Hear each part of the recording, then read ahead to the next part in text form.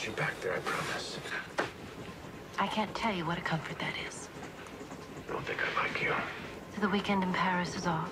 In Narrow Margin, Gene Hackman plays an LA district attorney who's trapped on a train with a reluctant witness and two hitmen who are trying to kill them both. It was a fun picture. I, I, um, I like the idea of, of being in films that, uh, that are static and then you have to make them come alive. His co-star, Anne Archer, was drawn to the film for her own reasons. The fact that uh, Gene Hackman was doing the film, uh, I'm a big fan of his work and always have been. Major fan, actually. She's not alone. Hackman is an actor's actor. Over the past 35 years, he's racked up an impressive list of credits, including an Oscar-winning performance in The French Connection.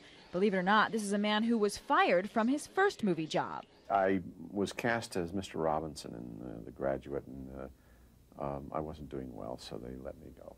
He simply was too young and too compelling and too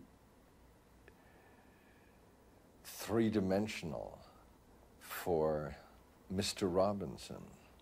Luckily, I had a picture called Bonnie and Clyde that came out a couple weeks after I was fired from The Graduate, so it was kind of salved my hurt feelings.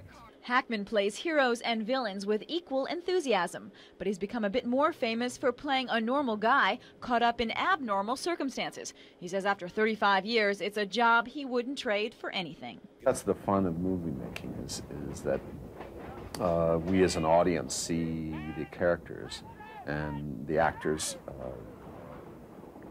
you know, having what we consider is a good time.